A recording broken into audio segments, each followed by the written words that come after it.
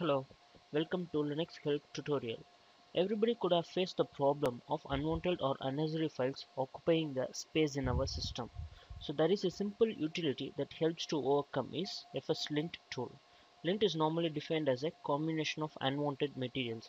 So this tool will just remove unwanted lint from files and from any location only with our knowledge. By default, it will just show the lint files alone but only after our confirmation is received it will remove those lint.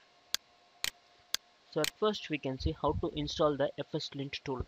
Uh, in CentOS or Red Hat based systems and in Fedora we have to enable the EPEL repository.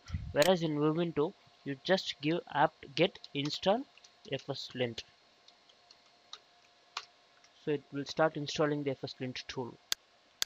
Thus the fslint tool is installed successfully to start the tool to check the unwanted files from command line is slash user share fslint fslint and once again fslint so while giving enter it will start searching from the home directory to till the entire directory located in the system.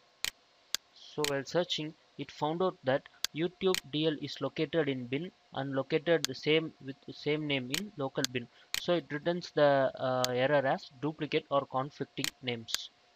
If you need to specify the tool to access only in the specified folder just give the same command with the uh, file path.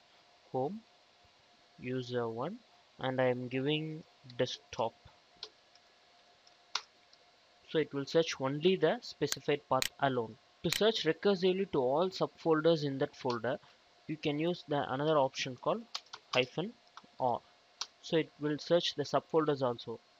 Normally fslint tool is available for both command line and graphical mode.